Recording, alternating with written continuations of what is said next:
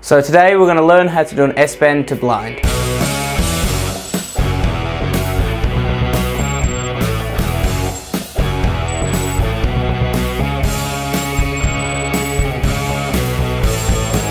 An S-bend to blind is a Raley with a front rotation, which is the S-bend component of the trick.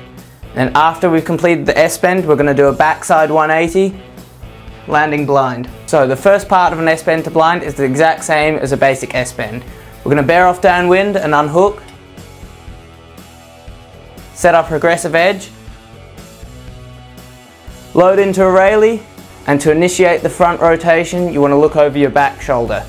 And as we're coming around about three quarters of the way around, we're still going to spot our landing, but we're going to pull into our front hip, which will start to initiate the backside 180 rotation into blind. As you're pulling to the front hip, you release your back hand and twist your arm into the small of your back. So when you're landing, it's in a nice easy position to pass the bar. Hook back in and ride away.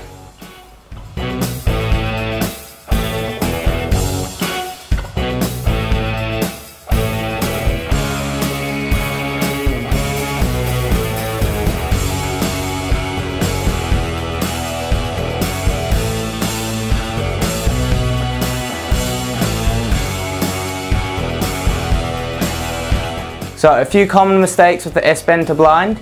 The kite looping on landing is a very common mistake that people make with all tricks landing blind. To help this, one thing you can do is with any handle pass trick, you want to put your index finger of the hand that you are passing with over the center line.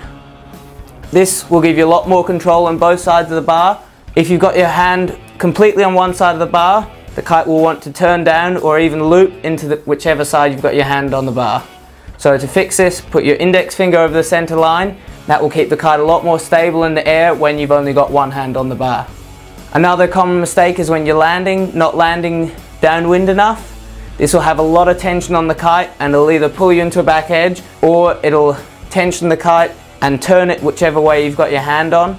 And when the kite loops, then it'll pull you off your edge or you won't be able to pass the bar and make the landing. Another common mistake with an S-bend to blind is once people have finished the S-bend, they hesitate when they're going to blind.